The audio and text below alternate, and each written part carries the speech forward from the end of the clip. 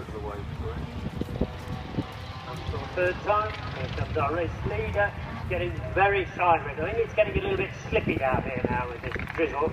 Tom Walker uh, fighting with that Hamill car. Here comes second placeman, number 10, Justin Mayer.